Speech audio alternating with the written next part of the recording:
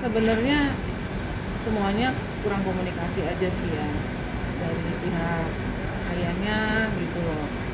Nah terus juga kan kondisi saya lagi seperti ini juga gitu. Loh. terus ya adanya kurang komunikasi Bang Gil sama anak-anak sini gitu. Sampai akhirnya seperti inilah terjadi dan akhirnya anak saya buka statement karena memang satu pertama dia juga tertekan tertekan dari pihak sekolah yang menanyakan gimana Rizka kabarnya? Gitu loh. Terus juga saya juga posisi seperti ini juga saya jadi serba salah kan? Gimana? Saya mau mencarinya juga ke mana? Gitu loh. Terus posisi juga saya juga uh, satu kena musibah yang kedua juga saya masih berbela sungkawa sama almarhumah ibu saya gitu kan. Jadi bingung. Jadi semuanya ikut bingung.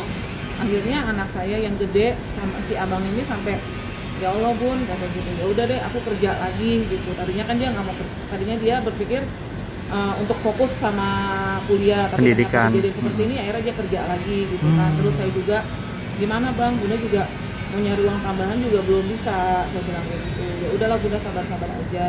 Akhirnya si Rizka anak saya yang si kakak ini si kakak Dinda ini merasa sedih juga merasa tertekan juga. Akhirnya dia buka segmen seperti itu ya terjadilah akhirnya jadi gembar-gembor seperti ini gitu loh. Dan dan udah terjadi seperti ini baru Bang Kiul bisa nemuin anak-anak baru Bang Kiul bisa nemuin ke sekolah.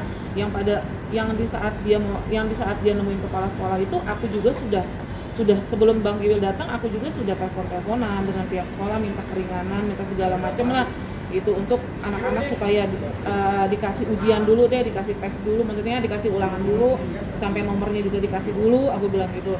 Karena memang aku juga sama Bang Gil udah sudah tidak komunikasi gitu. Hmm. dan anak-anak hanya komunikasi sama hanya anak-anak aja gitu. Jadi aku ber- berusaha aku sampai minta maaf punten-punten aku belum bisa datang ke sekolah.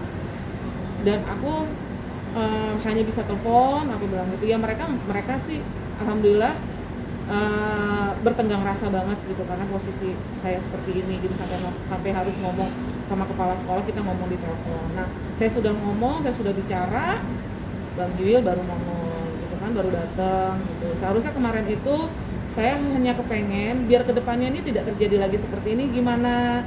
Maksudnya Bang Giwil datang ke Jakarta ini kita rembukan gitu loh. Saya sebagai ibunya walaupun kita sudah bercerai kan kita pengennya baik-baik aja Betul. gitu kan terus Bang Giwil sama pihak keluarganya Bang Giwil karena kan memang walinya kan keluarganya Bang Giwil anak-anak gitu kan.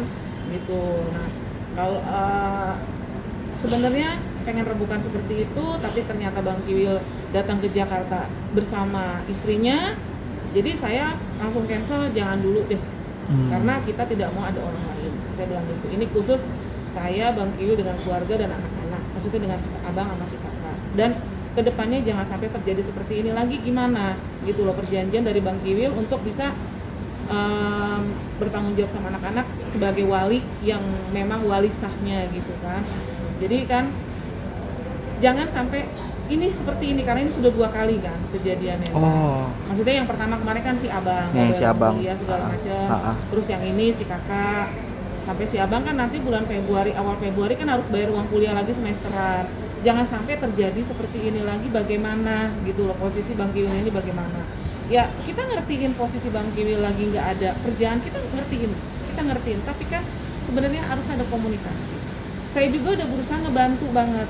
Jadi gini anak-anak sama saya kan Bang Kiwil nggak tahu gimana makannya ongkosnya setiap hari sekolah gimana. Sedangkan posisi kaki saya lagi kayak begini kan nggak ada pemasukan buat saya gitu loh saya juga berusaha ngebantu saya juga berusaha gimana otak saya berpikir ke depannya saya jangan sampai tercecer. Akhirnya kan saya ngebuka kedai gitu kan saya ngebuka usaha saya dibantu juga sama si kakak buka buka kritik kritik ini. Itu kan sebenarnya udah ngebantu banget gitu loh ngebantu kita sehari-hari ngebantu ngemeringankan bang juga sebenarnya gitu loh. Tapi ya itu tadi kita disuruh mengerti mengerti terus tapi sedangkan posisi bang Giwil ini kenapa nggak bisa ngertiin posisi saya gitu loh sebagai ibunya di rumah gitu loh. Seharusnya seperti itu. Seharusnya kemarin itu yang saya mau itu kita berembuk dengan kepala dingin dengan dengan tidak ada orang lain gitu loh. Maksudnya dengan jangan ada jangan ada walaupun dia ngajak istrinya tapi kan itu bagi saya orang lain. Betul. kan eh, karena kan saya masih ada. Saya masih hidup gitu loh. Kecuali kalau nah ini kan kita intern gitu kan. Jadi tapi ternyata Bang Gil juga buru-buru. Yang pertama yang kedua juga ada bininya. Jadi ya udah deh mendingan nggak usah. Eh, kalian aja yang ngomong bagaimana dengan ayah